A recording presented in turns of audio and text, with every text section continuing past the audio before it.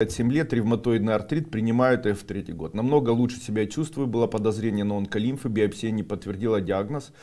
Реактивная гиперплазия лимфоузла на КТ показала гемангиома печень 15 мм, на почке липома 10, киста, гемоглобин все время падает, сейчас 111. Есть миома матки, одни врача хотят удалить, другие не рекомендуют, так как все стоит на месте и не растет после самолета. Остался звон в голове с правой стороны, очень мешает, переболела ковидом неделю назад, перенесла легко благодаря компании ТФ. Сейчас принимаю инстамакс, иммуноград, грипп-депо, антиангин, стволовые клетки. У меня букет, спасибо за ответ. Вот, смотрите, с чего необходимо начать начинать? Необходимо начинать с общего понимания происхождения заболеваний в человеческом организме. И на самом деле э, все связано с э, определенным видом усвоения и метаболизма веществ, который, которым поддерживается наш организм. Существует некое понятие, которое называется клеточный обмен. То есть весь наш организм он состоит из клеток это, эм, весь этот эм, клеточный обмен, он э, имеет определенные функции и имеет химическую формулу клеточного метаболизма веществ и э, там, физиологическую форму и так далее. Ну и существует понятие усвоения глюкозы, окисления и э, это называется циклом Крепса, когда формируется, выделяется первоваткиназа, э, то, что должно перевариваться в виде молочной кислоты, оно должно расщепляться и превращаться в первовиноградную, аромамасляную кислоту, и катализ этого всего совершается веществом тумор М4. И в итоге это все обмен веществ. А теперь по-русскому. И что я имею в виду и о чем я хочу сегодня сказать. А, что бы мы ни ели в нашей жизни, каким бы образом это ни происходило, это прямо или косвенно связано с обменом веществ. Когда мы едим любую абсолютно пищу, то эта пища, несмотря ни на что, будет в конечном итоге формировать молочную кислоту. А, будь то глюкоза, будь то белки, будь то жиры и какие-либо вещества, кроме минералов и витаминов, попадая в наш организм, расщепляясь и создавая процесс обмена, там он такой, не такой простой, как я сказал, потому что там есть каливонатриевый насос, там ну, очень много разных э, вот, систем. И в тот момент, когда происходит усвоение и расщепление и дыхание грубоклеточное наше, то в этом дыхании участвует вещество, кислород, и после этого выделяется АТФ, это наша энергия, или клетки получают АТФ, это наша энергия, и э, выделение молочной кислоты и углекислого газа. И перенакопление молочной кислоты очень часто приводит к тому, что появляется два элемента. Первое. Перенакопление молочной кислоты приводит к закислению, переокислению организма. Оно приводит нас к тому, что мы начинаем болеть э, общими болезнями, которые приводят и к артритам, к опухолям, снижению иммунитета. Там вот, э, далее выделяется аммиак в большом количестве, так как организм наш, он выделяет аммиак в случае, если организм переокислен. И в случае, если аммиак накапливается в крови, а его должен убирать и очищать организм от аммиака, э, должна печень, а мы не можем, так как печень перегружена. И Третий элемент э, переокисления и увеличения аммиака приводит к судорогам, к варикозным расширениям вен, гипертромботизации, к появлению там, макулодистрофии, к повышению артериального давления, к атеросклерозу и так далее. То есть условно можно сказать, что в этом всем цикле одним из ключевых моментов всего является вот такое переокисление. И Переокисление здесь нужно сказать, чем переокисление? Молочной кислотой. И, конечно же, вот я раньше говорил, что есть дети, у них эпилепсия, отсталость развития, и даже появление аутизма, если у большинства таких детей э, производить исследования и анализ крови на наличие аммиака, то мы заметим, что огромное количество аммиака выше критических э, показателей обычно есть у всех абсолютно детей. Есть ряд работ, монографий, связанных с исследованием аммиака в крови. И в случае, если у человека нервные тики, там дергает глазами, почему у детей появляется? Дело в том, что многие молочные комбинаты, даже если вы этого не знаете, я вам расскажу секрет, они получают молоко, которое быстро портится, потому что нельзя собрать, допустим, там 100 тонн молока, 10, я не знаю, там у кого какие обороты, так, чтобы молоко было сохранено, потому что для его перевозки, сбора, на это все уходит большое количество времени. И в тот момент, когда такое молоко получают, в большинстве своем такое молоко скисает. И для того, чтобы молоко вновь привести в стабильную форму, а чем или за счет чего оно скисает? За счет увеличения молочной кислоты в молоке.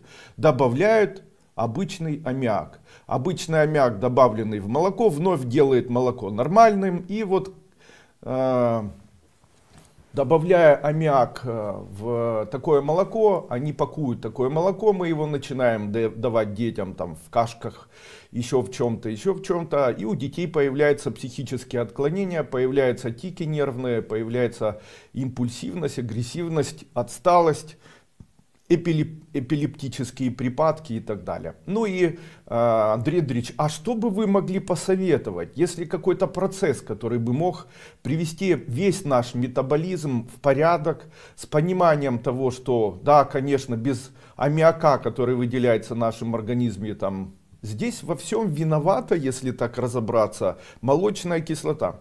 Избавиться от нее практически невозможно. Но, есть одно но. В этом всем цикле расщепление молочной кислоты может происходить двумя путями. Ацетилированием, то есть с дыханием, э, с усвоением и окислением молочной кислоты э, нашим, э, нашими легкими. И второй курс, это второй, вернее, метод, это а, а, первый, это мука, а, то есть через легкие, а второй висцеральный, то есть это происходит через печень, через почки, там, путем катаболизма.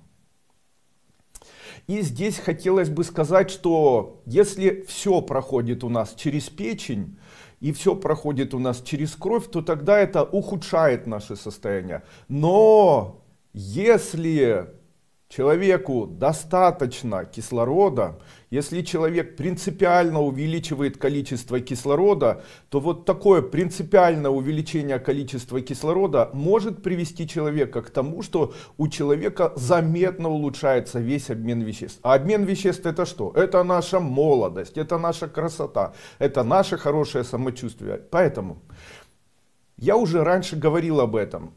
Человек должен на протяжении дня выполнять вот такие активные дыхательные процессы, о которых я рассказывал. Они называются дыхательные процессы Патрула Далкар. Человек становится в полный рост, немного ставит на расширенных, э, вернее, немного расставляет э, ноги ставит на ширине плеч, вот еле вспомнил, и после чего открывает как можно шире рот, начинает раскачивающееся движение, немного подкидывая как бы свое тело, и должен добиться состояния, при котором вдох и выдох не делается его легкими и диафрагмой, а как бы вдох и выдох омывает, он сам входит и выходит. Таким образом и включается процесс увеличения кислорода, Увеличенный кислород начинает помогать расщеплять глюкозу и процесс переходит в легочное ацетилирование вот этой молочной кислоты. То есть человек начинает очищать свой организм другим путем. Он начинает его очищать за счет дыхания. Для того, чтобы усилить процесс воздействия вот такого, я рекомендую перед таким дыханием выпить пол чайной ложки соды на полстакана воды, а также выпить одну, две, один-два стакана минеральной воды. Минеральная вода снизит метаболизм нашего кишечника, уменьшит количество кислорода в нашем кишечнике и увеличит количество усваиваемого кислорода который находится в легких. Тем самым произойдет процесс вот этого ацетилирования. То есть человек начнет, кислород начнет окислять те вещества, которые находятся в легких, и фактически будет увеличиваться таким образом и обмен веществ, уменьшаться аммиак, уменьшаться молочная кислота и так далее. Что же происходит в обычной жизни? В обычной жизни количество кислорода, количество бактерий, которые находятся в нашем кишечнике, увеличивается. Это аэробные, анаэробные. Они у нас в большинстве своем могут быть и нормальными, но в большинстве своем являются еще и патогенами. Вот эти э, микробы или эти вещества, они могут участвовать в процессе э, расщепления молочной кислоты, а также в процессе добавления молочной кислоты. И за счет этого происходит увеличение или рост инсулина подкожно, а также может из-за этого происходить ожирение, из-за этого может происходить наоборот там, снижение Э, жировой клетчатки, снижение иммунитета и так далее. Поэтому для того и человек в обычной жизни, он недополучает вот таким активным дыханием э, воздуха. Вот если читать, допустим, Берга, это происхождение заболеваний человека, или там Левицкого, диагностика внутренних заболеваний, то они очень часто говорят о том, что э, потенциально и путем вот клинических исследований, э, так как они были клинические такие врачи, и э, они потенциально всегда говорили о том, что в ходе лечения заболеваний желудка мы считаем, что частью заболеваний желудка или первопричиной заболеваний желудка может быть синусит, гайморит, назальные заболевания, заболевания носоглотки. И дальше проводят аналогию. Это они проводят э, без объяснения, потому что на то время, когда они это писали, еще никто не знал о цикле Крепса. Сейчас становится понятным, как это все работает, и я считаю, что в случае, если человек ведет малоподвижный образ жизни, у него более сидячий образ жизни или подвижный образ жизни, это тоже не имеет значения, он сталкивается с переокислением Старость приводит к переокислению, стресса, стрессы приводят к переокислению, переокисление приводит к появлению молочной кислоты. И нам очень часто не хватает как раз перевести наш организм на процесс цикла Крепса так, чтобы легкие в этом процессе превалировали перед всем остальным. Поэтому для нас вот такое дыхание может быть выходом из всех ситуаций.